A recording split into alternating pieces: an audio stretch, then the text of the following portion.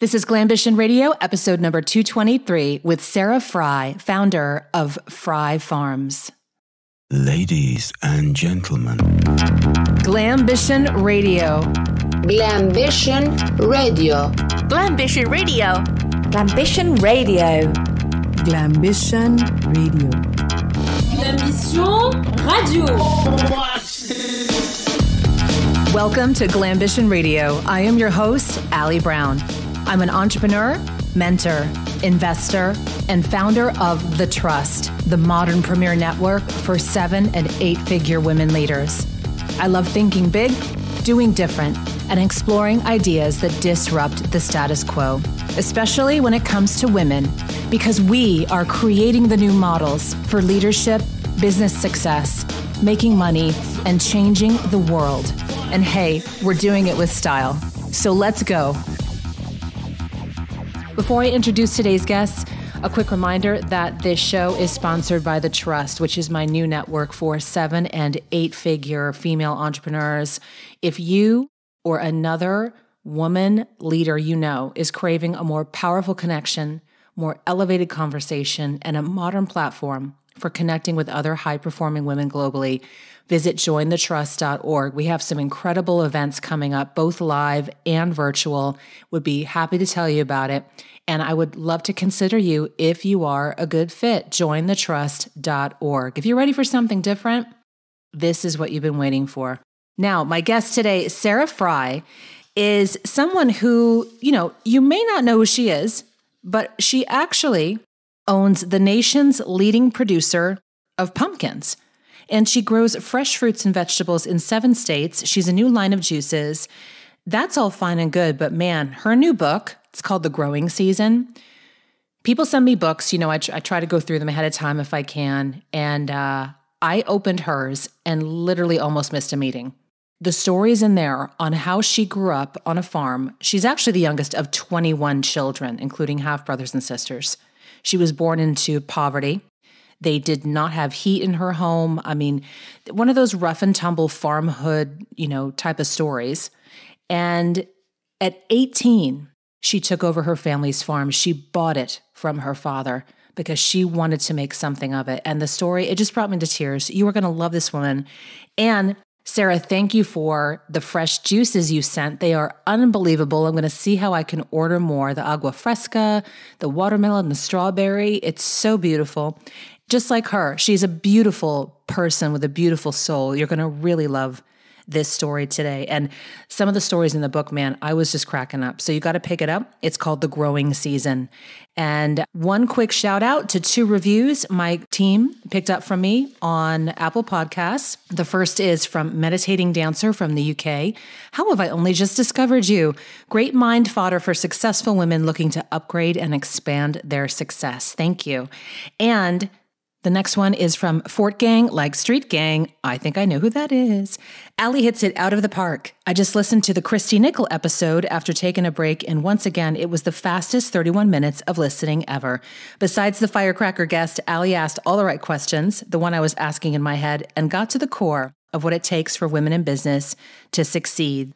Now get ready for an adventurous conversation with Sarah Frey. Sarah, where are you right now? Hi, Ali. I am actually back on the hill.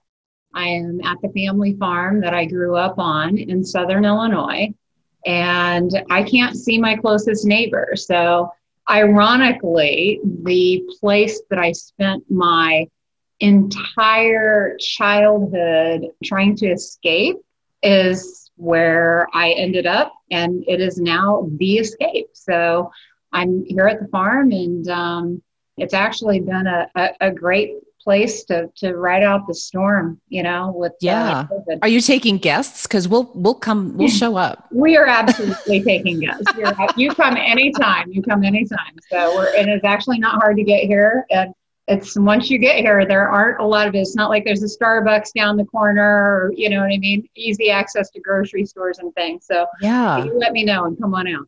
I relate to your story because i'm a little part city mouse and I'm a little part country mouse. You know what I mean? And Mhm. sometimes I watch Pioneer Woman and just fantasize. I'm on the farm with with her. You know, just the the expansiveness and like how amazing that would feel to look out your window and just see land. Yeah. It just it must feel just beautiful. it's really it is really quite beautiful here and there's something to be said about living in the country i mean the air is fresher it's lighter I, it's almost it's hard to describe. It's just and then the colors are brighter and you know you don't have the pollution. It's just an it's an entirely different experience. Now having said that i'm very much town and country. I enjoy my time in cities and i enjoy my time traveling but I also I also yearn to get back to the country, and this is where I come back and, and recharge my batteries so that I can go back out into the world and do it all over again. I love it. Now, your your initial plan was to get out of there. So Oh. let, let's go back if we could start because I think this is just fascinating on how this all began. And and by the way, I've been reading. I want to share with you actually. Let me go back. Your book. So I have a lot of guests with books. I usually get it, skim through it, you know, pick up what I need to pick up, but I don't have time to read the whole book for every guest. And yours, I I open it and literally I almost missed a meeting. I start reading it and the stories in there. I mean, is someone going to make a movie of this? Because they could. Yeah, so the book has actually been optioned for film, but there will be more on that later. So in the coming weeks, we'll find out more about that. And it's going to be funny. I mean, there's some funny stories in there. But anyway, Yeah. let's go back. Yeah. So I grew up on this small farm in southern Illinois with my four older brothers. We were, it was a very, very rural community in southern Illinois, and we were very isolated from the rest of the world. So, you know, kind of put things into perspective, there was like one television channel that we had growing up, and it was a WGN affiliate station. And in order to watch TV on this tiny little black and white box, one of the kids had to stand outside and like hold the antenna to, to beam the signal Right. to the living room.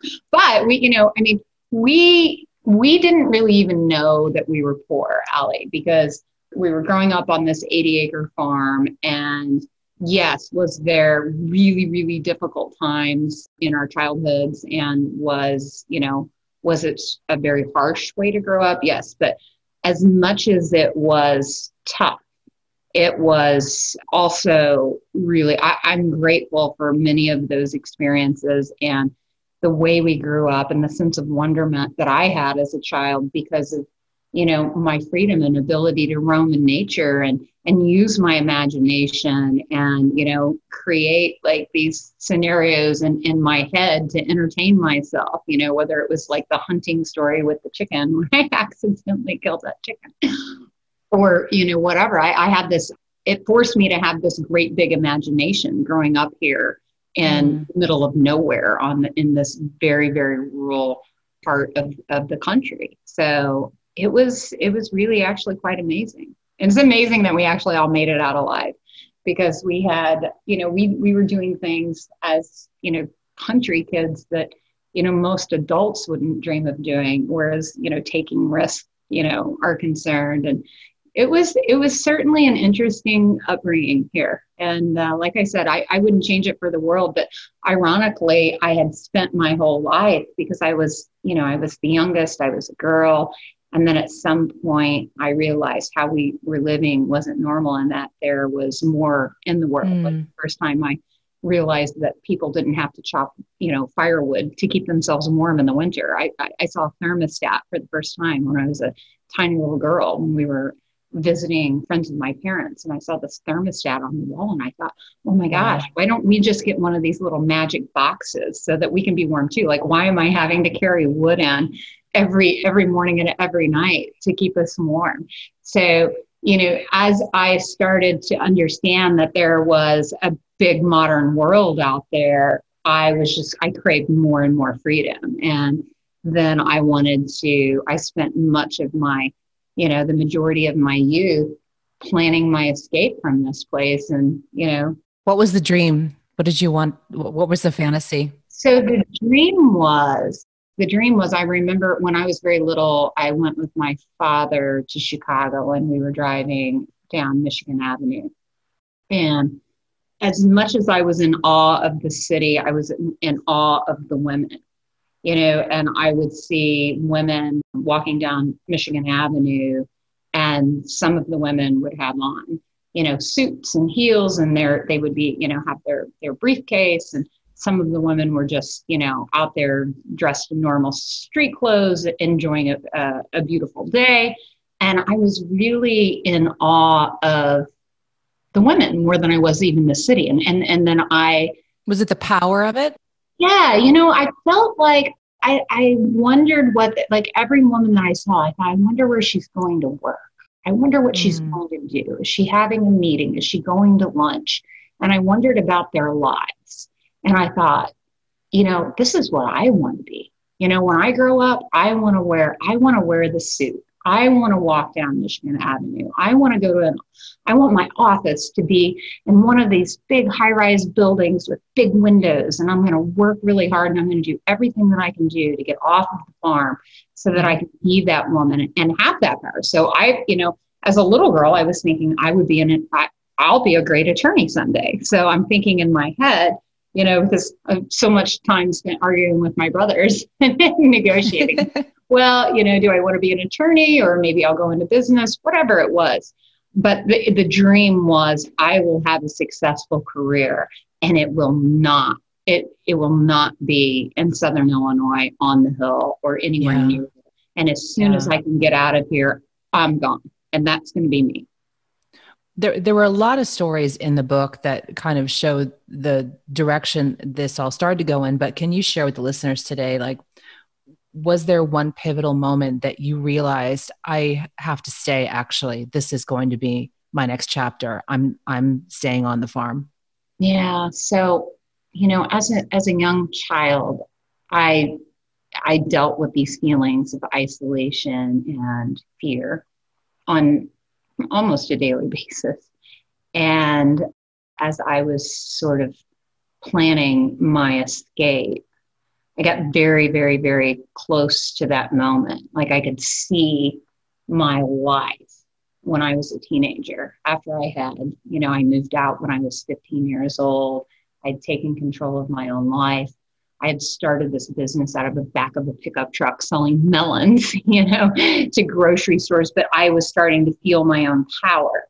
Mm. And I had money. I could pay an electric bill. I could you know i could i could buy myself clothes. I could eat the food that i wanted to eat and i was working very hard to do that. And that was all just working toward the goal of getting out and getting on with my life and there was a moment when i had this realization that sometimes getting ahead means that you have to stay behind.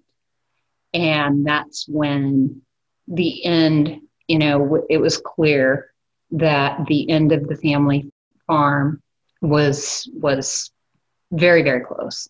And i was having to being the last kid left on the hill my four older brothers they had all escaped and they were off living in cities and going to college and getting on with their lives and it was my turn you know it was my turn to leave too but when when i was faced with the finality of that decision that I would leave this land where we all grew up and we made such incredible memories and where we bonded together and where we survived together.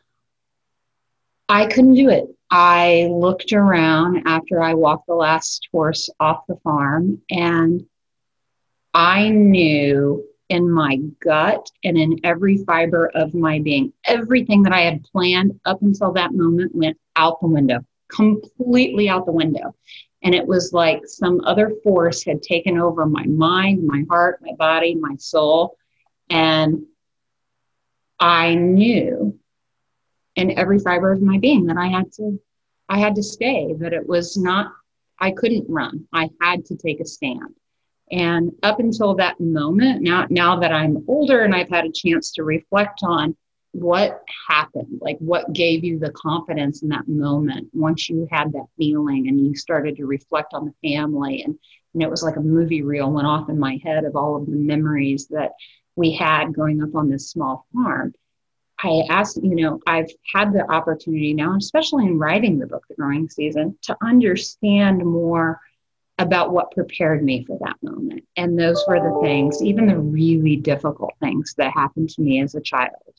All of those things, having to stand up to someone who had abused me, you know, having my confidence built by you know my brothers and my father when i you know i caught the, the, the fish in the pond that i didn't really catch that they you know they manufactured that whole event so that i thought i was the best fisherman in the world and the rabbit you know that that i shot. And so it was sort of a combination of all of those experiences good and bad that prepared me for that moment where you you might think a young teen you know who's thinking about that when they're a teenager? We're, we're all very selfish right? When we're when we're teenagers for the most part we're we're thinking i me my and not we us ours. Mm-hmm. but in that moment i know that i was prepared to do what i did in taking a stand and deciding that i will save the family farm and i will bring my family back together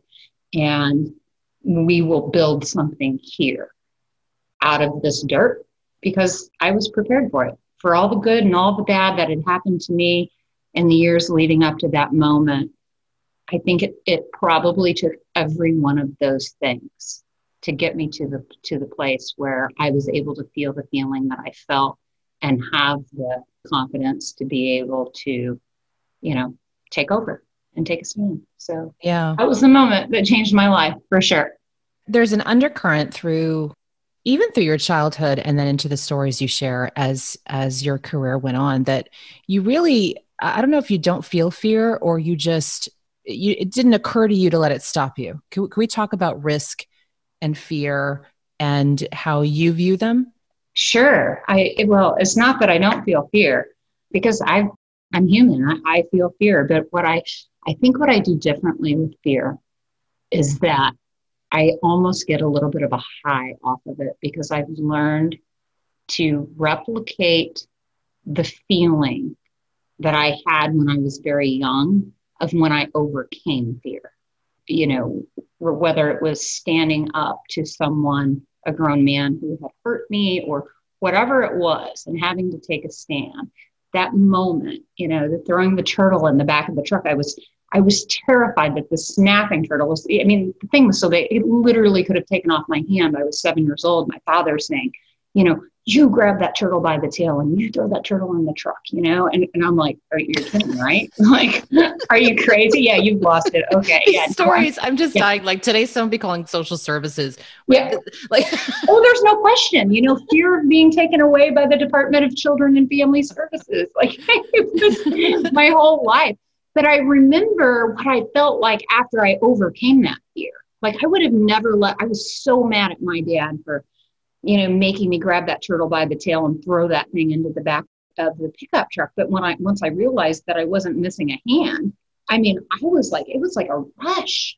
I felt mm. this extreme adrenaline that was like, oh my gosh, I did that. I mean, I'm very, I'm a very, very tiny girl at this point and I've just done this really scary thing that I was just absolutely terrified of. But I I overcame it, right? And so in my adult life, I it has been all of these moments where I've been afraid of something, but I've tackled it anyway. And then I what I do is I just dial up that feeling, that you know that that rush of I did this. I overcame it. I got through it. And you know what? It wasn't really that scary after all. I mean, we build up fear in our heads. We make things, you know, a thousand times worse than what they usually are. So I've just learned to I've learned to manage it. And for me, fear is just another tool in the war chest. Yeah. I, th- I think it was interesting to note too that like you know you when you when you grew up with a life like that you know you're making survival decisions every day you guys are eat, you're eating what you hunted and and grew. And i mean and then so when you get into the space of where most women entrepreneurs are at i mean we're lucky to have our neuroses right? If, if this is our biggest problem is believing in ourselves and being scared of a conversation it kind of puts it into perspective. Right. Yeah. Oh there there's no question. Yeah. and i think I think another thing that we suffer from is guilt. You know, I think women certainly suffer from guilt. Am I spending enough time building my career? Am I getting ahead the way that I should be getting ahead? Am I spending enough time with my children while I'm building my career? And it's, we're always sort of like questioning ourselves and saying, you know, and, and at the end of the day, we're left with, you know, this enormous amount of guilt that just weighs heavily on us instead of saying, you know what, I, I'm not going, I'm going to buy the store bought cupcakes and I'm dropping those off at the school because I'm busy and I have to get this meeting done and I'm not going to apologize for it because right now in this moment I need to get this meeting done. Mm-hmm. You know, but I don't love my children less because this is this happens to be the priority in, in this moment. And hey, you know what? I have this presentation, but right now my children are the priority. I'm not going to feel guilty about the presentation. I'll get to that. But in this moment, I'm just going to enjoy the time with my children and I won't yeah. feel the guilt. And I think as working mothers, like that's the biggest thing that we can shed. It would be like the guilt. Okay. Take the fear, turn it into a weaponize the fear and shed the guilt. That that's I mean Yeah, I think you're right. Guilt is the next and final frontier. I think we're working through the fear. Like we've proven ourselves. A lot of us are out there, we're doing it. And then there's the lingering guilt, this little guilt linger. Like and yeah. we were in the pre-chat, I was talking about how we made. I, I, just announced on Instagram, did kind of a rant about it. But I just said, okay, we're we're doing the homeschool thing. We're pulling the kids out. This just isn't what we want for them, and it looks like it's going to be, you know, it could be a few months of this online stuff. It's just not what we want for them. So now I'm weighing with, okay, how do I manage the time here? How do I feel like I'm spending enough time? I mean, it's just always a non ongoing little conversation in the head. Yeah. Always. Yeah and i think i think you mm-hmm. i think once you make a decision and say this is what what i'm going to do then you have to move on from that. Yeah. I made the decision and now i'm moving forward and and don't second guess it you know what i mean? Because yeah. ultimately i mean you have to we also have to learn to trust our own instincts and not second guess oh well you know i hope i made the right decision or oh this might be scary. What's going to happen? No you know make the decision and move forward and don't give it any more of your of your energy. Just make the best out of the decision that you made. Absolutely. And and, every, and everyone does things differently too. You know mm-hmm. it's important to to remember. So you know i'm gathering information right now and i see some people who are really spending a lot of time with their kids and almost doing all themselves. I see others hiring help and you know everyone in the end makes all you can do is make the best decisions for you Absolutely. And you know, Ali, what you've done, it, what you've done with your life is very similar to what I've done with my life. It, it is not a one size fits all solution, but what we've done that is the same is we don't necessarily have family and then career and then personal life over here. Like it's all sort of in one bucket and it's become a lifestyle. I think mm-hmm. about what I do for a living, whether it's whether it's growing thousands of acres of fruits and vegetables or making consumer packaged goods or, you know, leading this company or whatever I'm doing, that's all sort of still tied into the lifestyle that I created for myself. So my kids are involved in my I don't shelter them from my business. My nieces, there are always people in and out of my house and all of these teenagers who are still very very engaged in you know the business and and the life that I've sort of created. Mm. I didn't necessarily create a career for myself, I created a lifestyle. Yeah, yeah. I want to talk about there's something that I read. I want to talk about your business acumen right now because that that's really what I don't want to use the word, I don't want to say surprised, but it was just refreshing to see from someone like you and the i mean the the ballsy i can't think of just a better word right now just the ballsy moves you made so much that harvard business school used you as a case study for, for your negotiations with walmart. Were you like are you serious? Did they call you and say we want to use you as a case study? You're like what? I've actually done several for harvard on negotiation. We just completed another round of studies last summer that will be published soon. But yeah you know it's interesting because i i'm not classically educated. I wasn't classically trained in a, in a big corporation. I, I didn't get my MBA, although I have several MBAs that work with my company. I hire them. Mm-hmm. My life experience, everything happened so quickly for me from the time I was a little girl and everything that I went through. And in that process of knowing, like, oh, gee, I want to get off of the hill, there were things that I felt like I had to do so quickly. So I attended high school and college simultaneously. I went to a junior college at night. So if you think about where I grew up, wow, the closest school is it's a, it's a junior college. It's called Frontier, and I actually started taking classes there, you know, night classes. I had a pretty full schedule even while I worked when I was a junior in high school. Not because I just loved school, you know, and I'm like, oh, sign me up for more of this. I love it. Because I actually hated being trapped in a classroom. But I wanted to get it done because I felt like I have to check this box. This is a box that I have to check mm. ultimately for, for my freedom. And I had watched my four older brothers. I mean, they got off the farm. One thing I do have to credit my, you know, my father had a seventh grade education, but one thing I have to give him credit for is the emphasis that he put on a higher education. Mm-hmm. And he knew that he wanted a better life for his his own children. And so everyone in my family went to college, but I was really the one who was expected, like, okay, she's going to, she's really going to go to college and she's going to you know, have this fantastic career. And then, you know, when the moment came that I wouldn't be going on to a major university or following my my brother who was working on his doctorate at, at U of I. And when I said, no, I'm, I'm, I'm not doing it right now. I can't because this is my priority. I'm going to save the family farm and I'm building this business. And ultimately, you will all see the value in, in, in what I'm creating. So I feel like, I mean, so much of what I learned, you know, I can't tell you what I what I learned, and even in just the two short years at the small college. I mean, not that the classes weren't good or that the teachers weren't good; they were fantastic. They were very caring. It was a small college with a big heart, but I really was self taught, and then I surrounded myself with people who were smarter than me, frankly, and and people who you know, had higher education and there's been times though you weren't. Like when you the walmart story can you can you walk us through that? Because i actually haven't heard that one. And would you mind just walking us through why that deal was so great and people use that now to look at as a case study?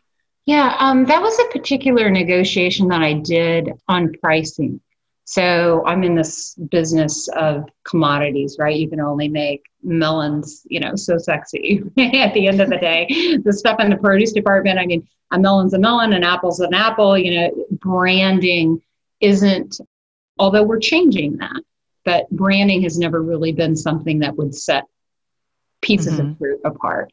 So it's a commodities business. And ultimately, I understood the business because I had been working in it since I was a little girl. I understood the markets and how things work. And the study was about a market situation and then also how a small company like Frey Farms at the time could negotiate its way to becoming back then what was known as a co-managed supplier for Walmart. So that meant you kind of had a little more control over your product's destiny. You could cut the purchase orders yourself. You had access to their systems. You could manage the hmm. inventories. Mm. You were booking the trucks anyway, so you could schedule all of the appointments. You could, you know, if a truck wasn't going to arrive, you were able to go in, pull a purchase order out of delivered status and move it off a day or two. So you had a lot more flexibility in, in your business. And many of the large companies that Walmart gave that technology to and that access to their systems to ultimately co-man what they did then was they co-managed small suppliers like me which sort of set up a firewall between my company a small company mm. and walmart this large company so i started to be, become invisible walmart said okay we're going to have these co-managed suppliers and here you know sarah meet the five different companies that are going to manage your seven items that you sell us mm. and i remember thinking oh no no no no no this is not going to be good. I want to have the direct relationship with my customer. I want to be able to, you know, manage my business and I don't want to leave that up to someone else, even though they're, you know, a company that's a hundred times the size of mine. Mm-hmm. And I remember thinking this would be a good way, honestly, to get rid of your competition, right? So if you were one of these larger companies and you didn't want to Frey Farms in, in the mix or you didn't want a, a farmer xyz in the mix you would just slowly start to starve off their business. So Yeah. for me i thought oh no no no no no. I was very much used to controlling my own destiny and i knew that that would be over time be devastating to my business. So the first negotiation study that harvard did was about how i negotiated my way into co-management status which ultimately allowed us to grow in a partnership with walmart and be visible to them. You know we wanted these were the people i mean if you think about how i started my business with them i started delivering to their division one stores when i was i don't know 16 17 years old I of the Yeah. back of a pickup truck right so walmart associates were coming outside to help me unload melons or pumpkins and you know i sort of felt like i was part of the walmart family i mean these were ordinary people and at this time when walmart was expanding these ordinary people were beginning to do really extraordinary things and growing and expanding that business. And I had very much felt a part of that. And then when I started doing business with them as a very, very young woman, before I was, gosh, before I was even 12, I was like 19, and negotiating bigger national type produce deals, I felt like I was just as invested in them as they were in me. And I didn't, I didn't want a firewall put up between us as a, like another company like okay now another company is going to be the middleman between you and your customer Has a lot of your negotiation over time been simply having the guts to ask for what you think you deserve? Could it be that simple? Oh there's no question. And and but it's also about how and when you ask for what you know you deserve or what you believe you deserve. Timing has a lot to do with that and it's being able to recognize different opportunities. Like i've never and i have my mother to really credit for this because on that summer in that summer delivery route you know there were always times when she would say to me you know i had to pay the farmer so much more money for these melons and you know so and so doesn't want to pay more at the store and so and so doesn't want to pay more at that store. And if you remember i was eight years old and and she would pull in front of a grocery store and it was my job to go in and talk to the produce manager, make the sale, take the order, walk through the store, meet her in the back of the store at the loading dock where we would unload the cantaloupes or watermelons, whatever it was that we had.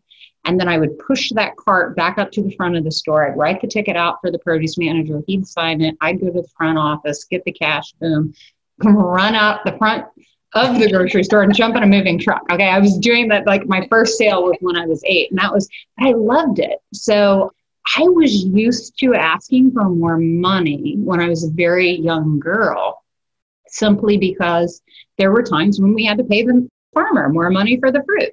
And Yeah. you know but what i learned when i was very young and i give this example my mom mm, she was hot and sweaty and we're driving this old truck and you know i mean her life was very difficult so you know oftentimes i was on the, the receiving end of you know how things were going with her but you know in her defense she had a very tough job as a mother and as a you know someone just trying to make it and scrap every day and she had told me that I needed to ask for more money from this particular produce manager. And so I said, okay, all right. So I get out of the I get out of the car to go in the grocery store to make the sale. But I realized on my way to find the produce manager, I walked through the produce department and I realized that they have a lot of cantaloupes there already that they haven't sold them all. And Mm. so when I find the manager, I know it's not the right time to ask for more money. He's going to buy cantaloupes today, maybe a few, but I can't charge him more money today because he has a lot that he still has an inventory to sell through. Yeah. So I don't make the ask for more money. And then I go back out to the truck, and my mom's really upset with me. She says to me in this very gruff, How much did you get out of him?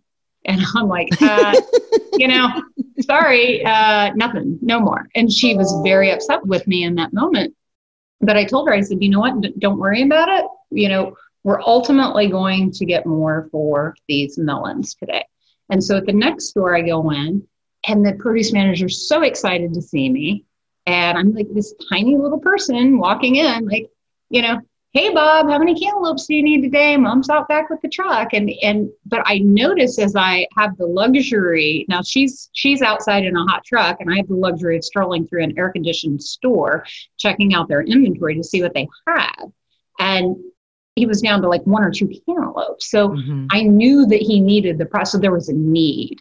And then it went off in my head he needs i know that he needs this he's excited to let's dial it up. now's the, now's the time to ask for more. So when I when I say that, you know, when the timing timing's right, you know, there are things that factor into that timing when asking for more money and and, and identifying the need. Once you identify the need and in, in that moment, that's when it's best to ask. My gosh, you learned so much at a young age. I just think these skills are being lost now. These kids don't learn anything at school. And I mean, just what what an amazing I think I needed to hear you today too, because as you know, as I'm going on this journey now with my kids, you realize how much of like your work and life is how they learn, like being Yeah. around that. And you were Absolutely. you were you were negotiating like eight years old. This is Yep. it's amazing. There's no question. There's no question, Ali. And I've tried to do that with my own boys. And I haven't sheltered them from the good times or the bad. Mhm. And when, when COVID hit, it really impacted our business too. I was going to ask you about that next, if you don't mind sharing. I mean, so many things this year. There's been supply chain disruption. I know that a lot of your, I'm going to guess a lot of your work depends on visa work, people coming in. I, I don't even know. I, I just would love to hear if you could be frank, you know, with how you've navigated through this year. Absolutely. You know, most of our business was heavily weighted grocery retail on the fresh side. So all of the fresh fruits and vegetables, most of the fresh fruits and vegetables ended up in grocery retail. But we also had restaurant business and, and a big restaurant business. So I'm fortunate enough to be, you know, a supplier in the food service industry. For instance, Subway is one of our big customers, great customers, just Hmm. very committed partnership. And they sell my beverages, my watermelon agua fresca in their stores. And when when all of these franchisees were forced to shut down their stores, our business died. And, you know, we were left with, we had millions of dollars worth of inventory and product, you know, that was on a shipping cycle. So Hmm. that died overnight. And um, that was scary. But we also had this crop that we were getting ready to harvest in South Florida. It was just the beginning, the tip of the domestic shipping season on melons. And melons are actually a big part of our business. And I, you know, I started waking up every morning was a just a new a new disaster, like one right after another. So, you know, we had the import fruit at the time that had flooded our market from Mexico. And even though we had, you know, domestically produced watermelons available out of Florida in April, our market was awful because we were still getting flooded with with imported fruit at the time. So it was like, okay, how do you, all right, you know, we got to deal with the markets. And then are people even going to want to buy melons? And do people think fresh produce is safe? So then I had to spend time educating people on, yes, it's safe. It's safe to eat. We're taking, you know, America has the safest food supply in the world. You know, that would be like one call and one interview. And then, and then, you know, the next telephone call that I would have would be, you know, with my director of food safety. Okay, what's the plan and what's the protocol for keeping the workers safe? You know, have we implemented temp checks? Are we giving them the proper PPE? If you remember at that time, like there was no PPE. Now, fortunately, we were also in the manufacturing business. So we had a lot of PPE on hand because Hmm. we were making juice. So we took Mhm. that PPE and shipped it to the farm and said, okay, so here's the PPE for the workers who are going to be working in the barn because the juice room wasn't running at that time. So we were able to, you know, but it was like every five minutes the world was blowing up. And we used, obviously, we rely heavily on H2A guest workers to come in and to help us harvest the crops. And it was scary because there was a moment when, you know, hey, the border's going to get shut down. Oh, okay. Wait, we still have to feed people. Like if you shut mm-hmm. down the border and you don't let these guest workers cross, the same people who've been coming to work for the company for the past 16, 18 years to pick the melons that, you know, come here, they perform their job, they're they have their visas, they have their work permits, and then they return to their home country after 10 months. if you don't let them in, we're not going to be able to pick the food that we need to feed the Mhm. people who are freaking out right now. So, you know, I had to engage with uh, congressional leaders at that point and ultimately decisions i have to give this administration credit when all of that was going on they responded very quickly to those needs and we were able to get the workers that we needed but my kids watched every day as i went through just one battle right after another they were here doing their online learning but I'm walking around in my house with my headphones in and they're they're hearing the stress, the tension, and I'm not sheltering them from any of these difficult calls, no matter who I'm on the phone with. Yeah. And so they said one day, my son William says to me, he says, Mom, I want to help. And I said, Yeah, oh, okay, son, that's nice. That's nice. You want to help. And I'm thinking, okay, they're kids, right? You know, they're my boys are 14 and William was 15 at the time. They're 18 months apart. And I thought, oh, isn't that, yeah, that's nice. He, he cares about his mom. So I'm like, okay, okay, yeah, that's nice. I'll, I'll, I'll figure something out, uh, a way for you to help. But they kept asking and asking. And finally, one day, I kind of got a little short with them. And I said, you know what you can do? And this was over the import melon market. I said, you know what you could do for me? I'll tell you what you could do for me, son. You could sell some watermelons. How about that? Can you do that? Can you sell some watermelons? You're kind of being flippant with him. Yes, I was being Yeah. flippant and almost a little sarcastic. Like you have no idea what's going on in my world right now, and you keep badgering me about what you can do because you're you're bored with your e-learning. You know, It's it's okay. Every mom has their there's a line and then you just go there. Yeah. I kind of crossed that line, but then I, but then after I said it, I thought, you know, I should give him some melons to sell out here at the farm. Now, keep in mind, I'm in Southern Illinois. This is April. It's still cold. We're 30 minutes from the nearest population center of like 5,000 people, right? I'm going to give him these melons and they're not really going to sell them, but that's going to give him and my little nieces, Anna and Audrey, and my two boys, Will and Luke, it's going to give them something to do on Easter weekend. And okay, it's Easter. I'm going to bring melons in, let them have this cute little sale, right? And so they set everything up. I bring up a load of semi load of our watermelons from Florida and I let them set up their stand over at the farm inside the uh, packing facility. And they put it on Facebook that, hey, we have our Frey Farms watermelons from, you know, South Florida. Come and get them this Easter weekend. They made this cute little ad with the Easter bunny and said, you know, no one could go to church at that time and and gather. So it was kind of this like little bright spot. They put it on Facebook, but it got shared like 200 and some times, right? Hmm. So I go over there on a Saturday morning while they're setting up for their sale, and I thought, oh, isn't that cute? They're taking the melons out. They're they're making their display look perfect, right? And they've got about 150 watermelons set up on this little wooden thing that they built. But then I noticed all these cars start to line up. Ali, I swear to you, the line was two miles long Mm. to get into their melon sale. And they sold a full semi load of nearly 3,000 watermelons in less than five hours. Oh my gosh. I had to start working, helping them load cars. I mean, they had on all their face mask gear, they had on gloves, they had all the sanitation stuff. And we were just loading cars, one right after another. And people were buying these melons, like 5, 10, 15, 20 melons at a time, because they were sharing the melons with their neighbors as Easter eggs. They were dropping off watermelons to people who were afraid to get out of their homes and go to grocery stores the kids were selling these melons for five dollars a piece. And it's like what, like carload after carload.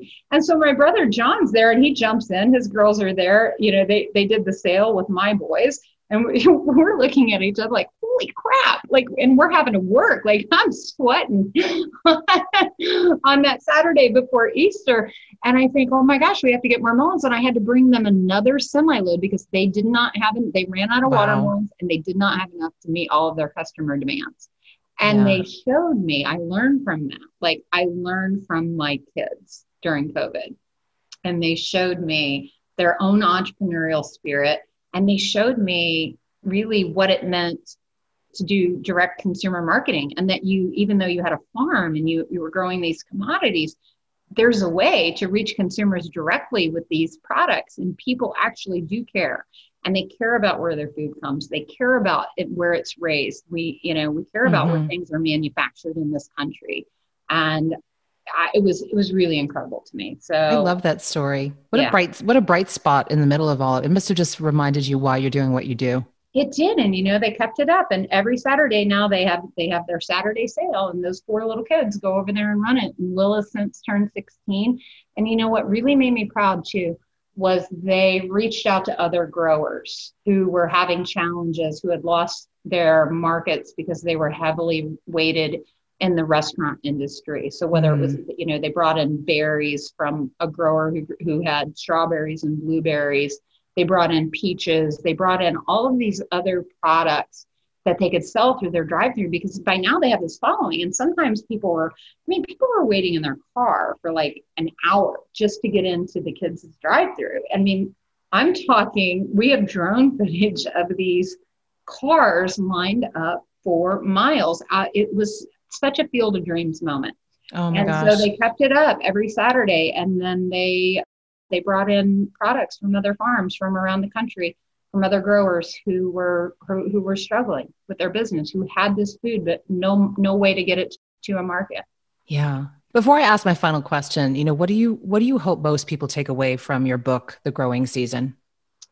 You know, I thought about the higher purpose for this book as I wrote it and throughout the entire process. And there were many times when I wanted to give up and I thought, why am I sharing all of this crazy stuff about my life? Why am I going to put myself through this and put myself out there? But I had this nagging feeling that there is a higher purpose for this. You don't understand it now, you can't articulate it now, but you need to keep writing. So I did. And I truly believe that there isn't a better moment for the growing season because of the time that we're living in.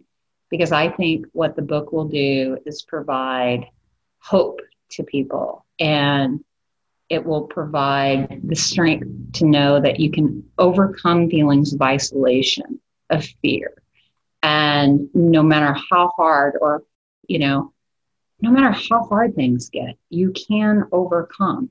And I really believe the book's going to provide a lot of much needed hope right now and really inspire. The book is for everyone. And I think about the young women. I mean, when I, I envision who I see reading this book and who I hope this book will touch, you know, I envision a young woman, you know, a young girl growing up in rural poverty herself. But there's so much in it. The stories are so rich. I think that the stories aren't are no longer mine. They belong to the world. And I think that no matter who you are, there's something in this book that will inspire you to actually make a real and meaningful change in your life. So Yeah. yeah, that's my that's my hope for the growing season. The Growing Season, and everybody can pick it up on Amazon, anywhere else you want to promote? Walmart, Walmart will have it as well. You can pre-order it at walmart.com. You can pre-order it on Amazon and it will be out on August 25th.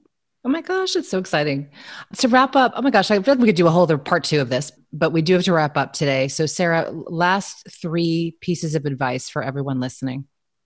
Three pieces of advice. I would say I would say we covered some of that advice and that was, you know, I mean, I'd start with the fear and really learn how to not just overcome fear, but how to utilize that feeling that you have once you have overcome fear and ultimately replicate that in your life and, and moving forward. And the other thing would be, you know, guilt. As working moms, we really have to shed the guilt. And once we we master that, we've really set ourselves free. And there isn't anything that can stop us, no matter what we want to do. And then I think lastly, I would just just, you know, just own it and be yourself and don't don't apologize for who you are or where where you've been, where you came from. For me, my whole life, it was so much easier as I was building my business to let people make assumptions that, oh, you know what? Oh, isn't that nice? She's a farmer. Her dad gave her that business. It was so much easier for me to just allow people to believe what they wanted to believe. And it Mhm. started off as, oh, that, yeah, she came from a middle income family, you know, that it was, oh, her family must have been wealthy and her dad gave her this business. I allowed people, you know, to believe that about me to the point where, not that you have to go correct everyone because you certainly don't. You, you wouldn't want to waste your time doing that. But to the point where at one point in my life, I'm like, who, who am I really? I mean, I know my truth and I know where I came from and I know what I went through to get here. But I had to own that and own the power that was in those stories. So, you know, my last piece of advice would be make no apologies, own your power, and just be who you are. And there's no need to apologize for it. The world is hungry right now for authenticity. And, you know, it was really scary writing this book and, and opening up my life and, and experiences to the world. But I can also tell you it was so liberating too. And I'm finally at that moment where I'm like, okay, I'm free. Mm. Yeah, it is personal. I mean, I opened up like and and landed on a few passages. I'm like, whoa, you know, like I wasn't. I was expecting like business advice from the farm, and uh, it's very personal and just such a just thank you, thank you for writing it. Thank you for opening up so much. Thank you for being who you are because we need such different types of stories. We need to hear from different types of women and it's been a pleasure having you on the show. And I hope to buy some of your pumpkins or melons or yummy juice one day. Yeah. Yeah. Hopefully you'll get that opportunity and I'm happy to send you some samples, Ali. Please. okay. Thanks, Sarah. All right. Thank you so much. Have a great rest of your day. Bye bye. Bye. Thank you for joining me for this episode of Glambition Radio. If you enjoy the show, make sure you subscribe so you automatically get my new shows every week.